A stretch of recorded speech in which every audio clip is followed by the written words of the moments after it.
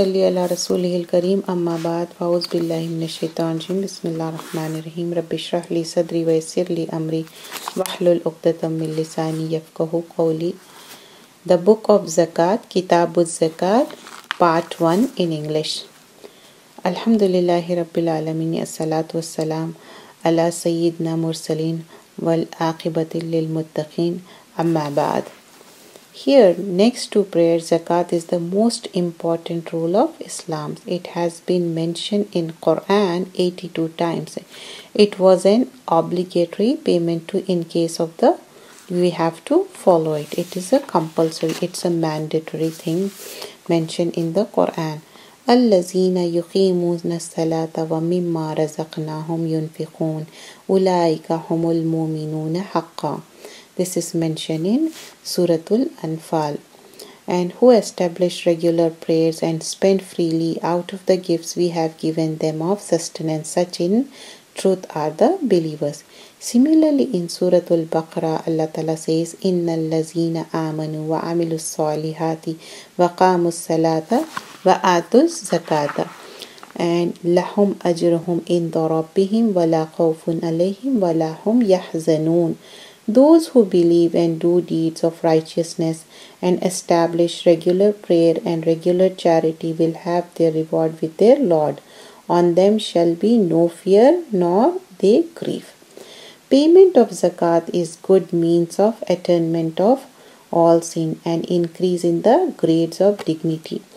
Merciful Allah subhanahu wa ta'ala has commanded the Messenger of Allah sallallahu alaihi wasallam خذوا من أموالهم صدقات تطهروهم وتزكيهم بها This is in chapter number 103 ayah number 9 of their uh, chapter number 9 ayah number 103 sorry of their goods like alms so that you might test purify and sanctify them by paying zakat not only sins are forgiven but also increase in wealth is promised by Allah subhanahu ta'ala.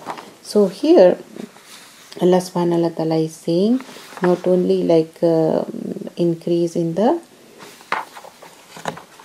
uh, which increase in the wealth and the purify it. So here uh, we see further one more in ayah, chapter number 30 and ayah number 39 wama ata tum min zakatin تريدون وجه لله فأولئك هم المضعفون that which you lay out for charity seeking the countenance of Allah that is face of Allah pleasure of Allah will increase it is these who will get the recompense multiplied mudafina it's from the of you know it will increase multiply multifold double or more like Allah alam how much more it will be.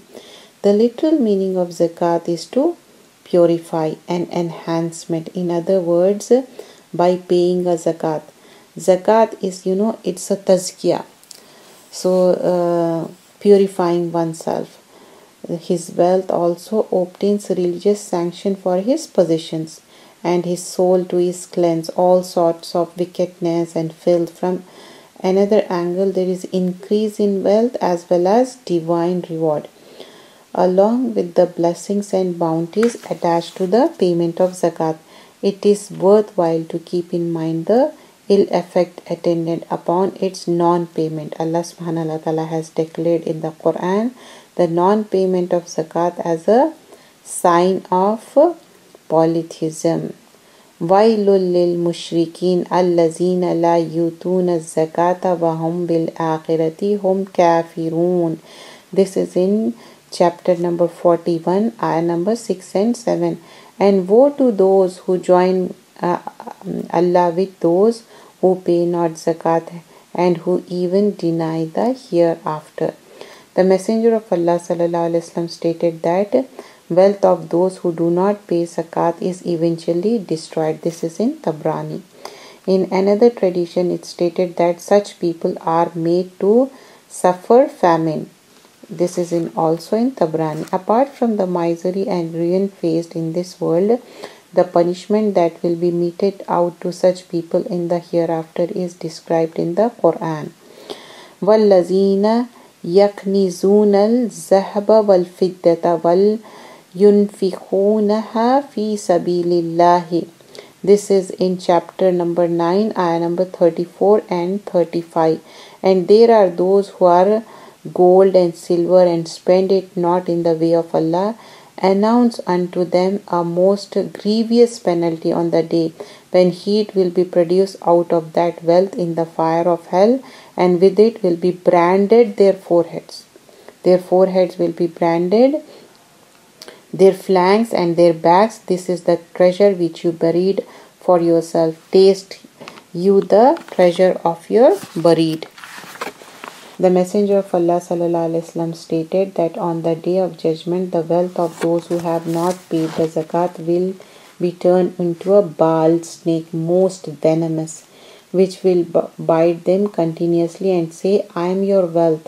This is in Bukhari for non-payment of zakat in the relation to with their uh, with the animals he stated sallallahu alaihi wasallam those animals will hit their masters with their horns and trample them under their feet continuously for 50,000 years on the day of judgment. This is in muslim.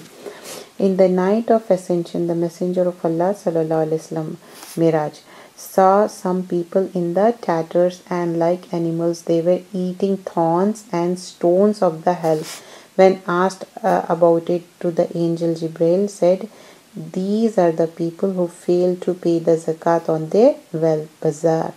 Be it noted that the punishment mentioned in the above verses of the Quran and tradition applies not to the Hedonists but to the Muslims who do not pay the zakat their prayer and fasting not withstanding said the messenger of allah and pay zakat so that your islam becomes complete. In other words our default shows that our faith in islam is feeble. We have not accepted in all sincerity. For this reason during his Khalifa Abu Bakr radiallahu declares was against those people who refused to pay zakat although they believed in the oneness of Allah, performed their prayer and kept their fast in the war. So waged all the companions of the Messenger of Allah وسلم, joined with the full conviction and without any reservation. From this is evident that the person who is not paying zakat is faith, prayer and fasting etc. are all in vain. in the light of the Quran and the Sunnah of Messenger Sallallahu it is not difficult to conclude. It is ever so important to have faith in the five pillars that is the five pillars of Islam. Zakat is part of that. And zakat means perfection. Without paying zakat, you can't be in that category. Cultivation of high moral values of the weakness of human being pointed out by the uh, creator in Quran. One is the love of the world here it says وَإِنَّهُ لِيُحِبِّ الْخَيْرَ لَشَدِيدٌ this is um, chapter number 800 and verse 8 your riches and your children's may be but a trial and here in surah number 89 and verse number 20 وَتُحِبُّونَ مَالَ حُبَّ جَمْعَ and your love for the wealth with inordinate love. Innama amwalukum wa auladukum fitna. In surah number 64 ayah number 15 and the violent is his love of wealth. The messenger of allah wasallam in one tradition stated thus for each nation ummah there is a test in particular thing. Such a thing is wealth. In the case of my followers this is in tirmidhi in surah number 68 al-qalam uh, in, in Quran is narrated parable about the virtuous and beneficent person who had a garden. After deducting the household and the agriculture expenses from the income of the garden, he used to spend the balance in the charity. Allah subhanahu wa ta'ala had granted abundance in his wealth. That person died. His sons deliberated among themselves to effect that their father was a simpleton. In that he gives away such a big sum to the poor. if we kept the entire income to ourselves you know later on their sons they decided to keep them for keep everything for themselves.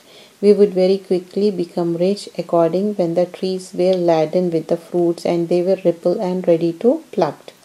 The sons vowed to make a pre-dawn soup on the garden and quietly carry away all the produce to their home with the result that none will notice the harvesting and they will be safe from having to give something to the needy. They thought they will go early morning and they will take out all the fruits. Next day, as they approached the garden, they were uh, surprised to see that the, the fresh and blooming garden completely laid waste.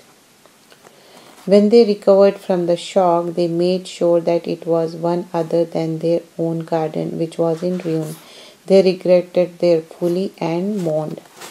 So qalu ya wailana inna kunna taga and they said woe for us you know we have indeed transgressed Allah subhanahu wa ta'ala declared thus kazalikal azabu wal azabul akhirata akbar law kanu ya'lamun uh, this is in Surah number 68, ayat number 33. Such is the punishment in his life, but greater is the punishment in the hereafter, if only they know. From the above mentioned uh, um, chapter uh, in the Quran, it's not at all difficult to appreciate how um, tiring is wealth for man. If he took around, like you know, like he has to give the wealth from that mal. So we learn from surah al-qalm also like how they saved the money and then everything was destroyed. But his father used to give the mal in the zakat in the charity.